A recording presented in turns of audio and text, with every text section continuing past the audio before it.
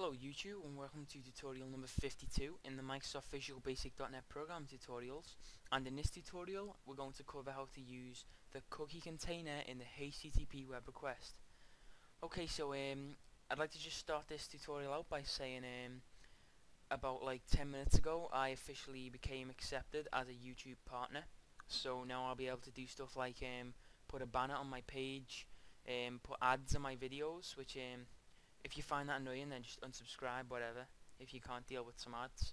But um, also like I'm gonna ask YouTube if they can bump my limit up to like 30 minutes or something for when I cover like sockets and stuff.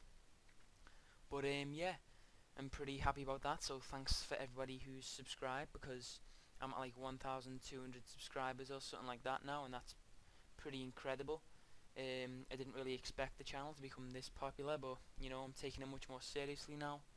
Um, I'm going to be doing more languages and stuff, whatever, but I won't bore you with that now. Okay, so um, as I said, this tutorial we're going to cover the cookie container, and to understand this tutorial, you it is a must that you you have watched tutorial number 51. So if you've not um, covered tutorial number 51, then click um, should be around here for an annotation. Um, the annotation will link to tutorial number 51. It's pretty long, but um, it's really useful. It covers how to use the post method in a HTTP web request. So um, I'm using the project straight from that tutorial, so you're not going to understand the thing that's going on if you don't watch it. So you know, this is your last chance. Click the annotation and watch it. Um, if you've watched it, then please open up your project. You're going to need it this will be like either the forum that we used or your own website that you use to send a post request to. Um, so yeah let's continue. In this tutorial we're going to cover the cookie container and that's because a lot of people um, messaged me. They were like um, hello I followed your tutorial. It worked perfectly but then I tried to view another page on the website and it said we're not logged in. Well that is because your new HTTP web request was not using um, the same cookie container. Now, if you don't know what a cookie is, then you must be pretty um, blind to, or you've never, you haven't really used a computer much. Um, it's not the cookie that you eat. It's it's basically a piece of information that your web browser stores, like um, it's used for like authentication on websites or for saving preferences. Like um, if you ever went to a forum, this is an example of authentication and preferences. If you ever went to a forum and then you've logged in and then you've closed the web page but then you reopen it and then you're still logged in that is because you, your web browser saved a cookie after you logged in.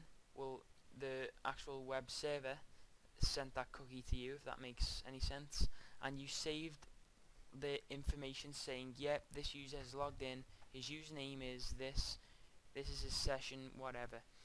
And that's for authentication and for preferences if you ever into a forum and it's you've selected a custom theme at the bottom like um, a blue theme or a red theme on a forum whatever and then you've you've closed the page opened it up again and the theme has been saved. That is also an example of using cookies. Well that is exactly what we need to do here because let's say we log into a website and then we want to navigate to another page we need that cookie that says yeah this user has logged in. Um, this is his username. He can access all these areas and stuff like that. So I'm just going to simply show you how to use a cookie container. Um, it's not very hard. It's actually really easy. I could have just done it in the other tutorial but I didn't want to make it any longer than it already was. So um, yeah let's continue. Alright so um, you're going to need your old project which is when we logged into the Zybez forum, which is RuneScape community, if anyone remembers that. Some of you may have used your own forum, some of you may have used Zybez, but um, I had an account called Teach Me Computer on the forum, and surprisingly, after like 1,500 views, nobody has changed the password yet, which is um, it's pretty good, pretty impressive. But a lot of people went on and um, you know changed my status and done some posts and stuff. But you know I don't mind that. So I'm going to use this account on this forum for to demonstrate today, but you can create one, or you should already have one from the previous tutorial, or you can use another website, it's up to you. Okay, so we have our code right here, and let's just test that it still works. I hope it does anyway. Teach me computer was username, and password was the password. Let's make a request, get the response, and see code. And um, yeah, you can see it has logged in right here. So we now know that that works. Okay, so if we go to make request and go down, where is it? postrec.cookie container equals temp cookies. Right here we're setting the cookie container of this HTTP web request called postrec that we declared up here. Now that's basically all that we need to do when we create our other request, but what we need to do is set our cookie container to our global cookie container, which up here is login cookie. Now if you remember down here we set um, login cookie to the value of temp cookies, um, which is you know, saying that we've logged in. So that this cookie here right now knows that we have logged in to this forum um, and we've done whatever, set a theme or whatever we do. And now we can use this cookie container in another HTTP web request. So what I'm going to do is just, um, I'll just move this down and add another button. This is for the other request.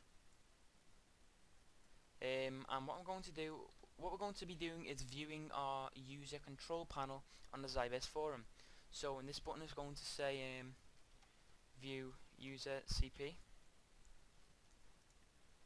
and add a rich text box to get the response. Make them same size and with this button, this one um, sees the code when we have after you've logged in. We're going to make a new button. And what that's going to do is set web browser 1 whoops.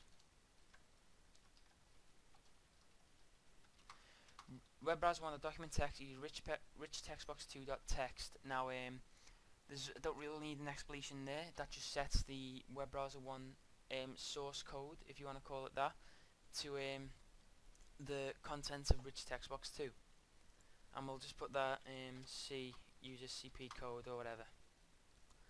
Okay, so now we're ready to create our HTTP web request. If you double click this button, view user CP that we just added, all we're going to do is create a simple web request. So declare request as HTTP web request equals direct cast and in brackets web request dot create and brackets again and this is going to be the link to the user CP inside these um, quotations right here, so just leave that blank for now, and then put a comma and HTTP web request. Now right in here we need to get the link of the page you want to visit. So um, I'm going to take the user control panel. That's um, somewhere, think that's it, maybe.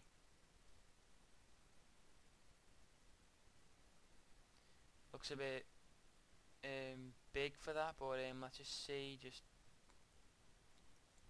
take that off and yeah that should work so copy that and go back to the application and put that inside the quotations and now what we need to do is we need to set the cookie container to the cookie that cookie container that we declared up here.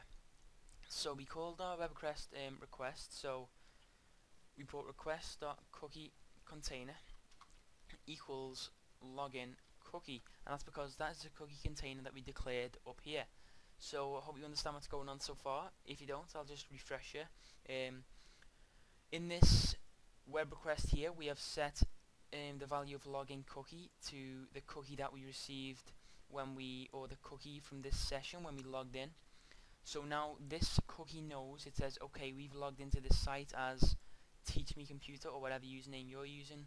And now that knows so we can do whatever user can do.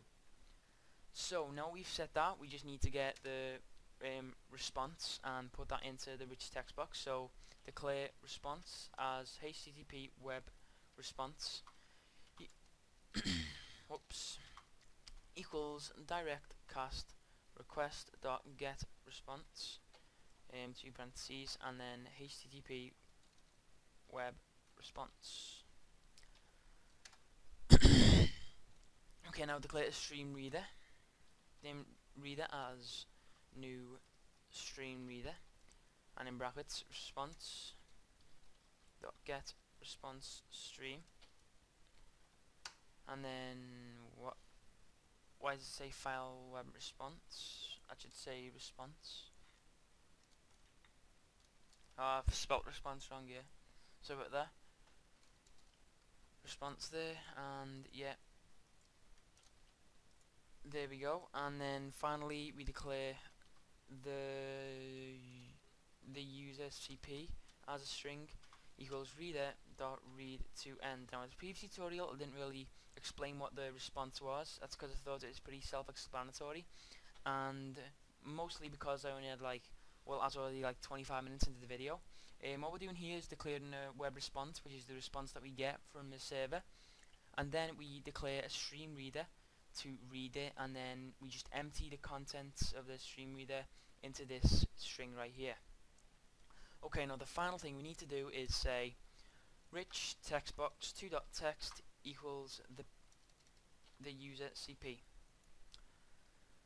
Okay, so that's it, pretty much done right there. Um, all we have done there is we've made it so when you click this button, it makes a request with the user control panel page, and when you click this button, it sets the contents of rich text box 2, which is the response we get to web browser 1. So um, let's just view this, and let's say we want to view the user CP. Well, we haven't logged in yet, but let's just see what it says for that. It should say like error or something, I don't know, I haven't tried it yet. Um, when we try and do that, it tells us to sign in. Because we haven't signed in, we can't view that. But let's say we log in first, first make request, and now we have that cookie called login cookie saved in this application and it's saying okay login cookie says you've logged into this website as Teach Me Computer and you can now view member things so now if we click this where we set our request um, dot cookie container to login cookie we've just got this fresh um, user CP response so now if we see see user CP code we can now see the user control panel for this account. So that's basically how it works. Um, if you have any questions about this, then um, just leave a comment or send me a PM. I've got like hundreds of PMs right now, but I'm trying to respond to them all. Um, so I'm not ignoring anyone. Don't worry about that. I'm just got a lot of stuff to do right now.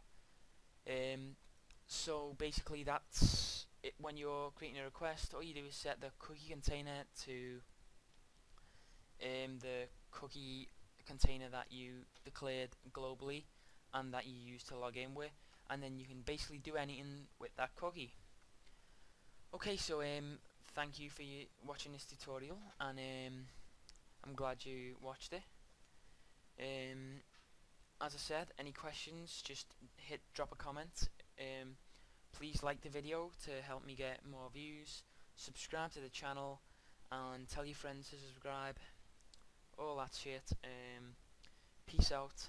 See you later. Oh, and also check the website for this source code if you think you've got it wrong. It'll all be there.